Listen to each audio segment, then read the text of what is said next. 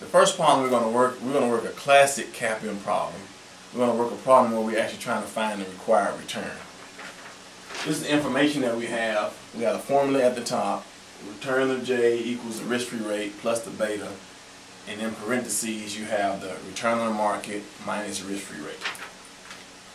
We have a beta of um, 0.9, 0.9, a risk-free rate of 8%, and a market return of um, 12%. That's fine, the required return. So we just use the formula. We're looking for RJ. Risk-free rate is um, 8. I keep it as a whole. I don't, I don't do a percent. Plus the beta. In the parentheses, we have 12 minus 8. Parentheses first. So that gives us 0.9 plus 8. 8 plus 3.6 will give us 11.6 is required return. Pretty straightforward, pretty cut and dry. We'll come back and we'll do a problem where we have to find another element of the CAPM. In this problem, we're going to try and find the risk-free rate, given all the other information.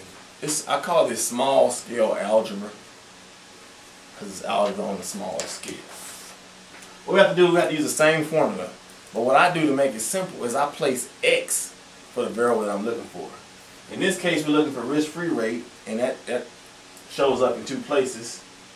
So it gave me the required return already. So that'd be 15 equals x plus the beta 1.25. On the market is 14% minus x. So once I solve for x, I will have my risk-free rate.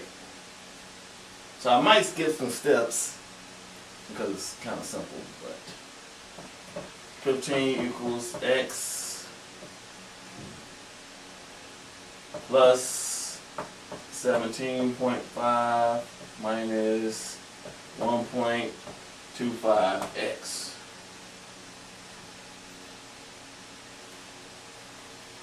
Now we have to combine like terms. It's implied that this is 1x, of course. So therefore, we can we can do it both of them at the same time. We know we have to move this to the other side, and that will become negative. So this would be negative 2.5x, negative 2.5 equals 0.25x. So you got the 0.25x. Negative 1.25 minus the 1x gives you 0.25x left. And it's negative when we solve for x, we find out that x equals 10. So in this problem, the risk-free rate is 10. To confirm, we just plug it into the equation and make sure all the numbers add up. We'll do another problem after this. Welcome back. Now we'll compute the return on the market. Given the variables required return of 16%, beta of 1.10, and risk-free rate of 9%. We use the same formula. Return to J equals the risk-free rate plus beta. In parentheses, we have the return on the market minus the risk-free rate. So first we plug in the variables that we were given. 16% is required return. Risk-free rate 9% plus beta 1.10. Parentheses, we have x to denote the required return minus the risk-free rate. Then we do the math. 16 9 plus 1.10x minus 9.9 combine like terms.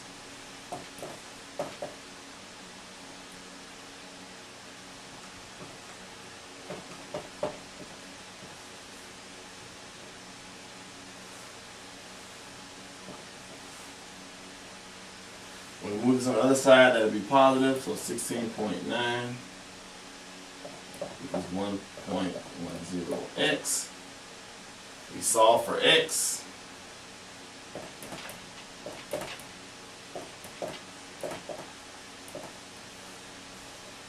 So the market return is 15.36. I solve for x. We'll come back and do our last problem. Lastly, in this segment on CAPM, we are going to find beta. Now, as I stated in the first segment, you can find the actual beta by performing regression, but this is finding the beta as a missing element of the capital asset pricing model. So, required return on the market is 15. The um, return on the market, the required return is 15. The return on the market is 12.5, and the risk-free rate is 10, and we're to find beta. So we plug these into our formula. 15 equals 10 plus, we're going to put x instead of beta. 12.5 minus 10. Form the calculations inside of the parentheses. 2.5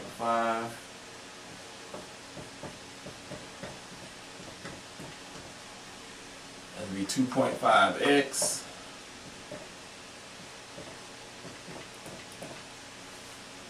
Next, you move this over here to become a negative, so that'll be 5 equals 2.5x. So x equals 2. So beta will equal 2. Hope that's simple enough. That concludes our section on manipulating the capital asset pricing model. See you next time.